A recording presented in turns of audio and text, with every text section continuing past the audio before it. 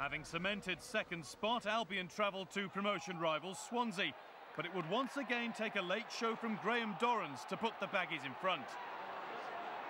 Barnes drifting into the area. Was that a foul? It was. West Brom have a penalty. Barnes upended by Rangel. And the referee says penalty. Just over 10 minutes to go. And a crucial moment for West Brom. Dorrans, normally so cool from the spot.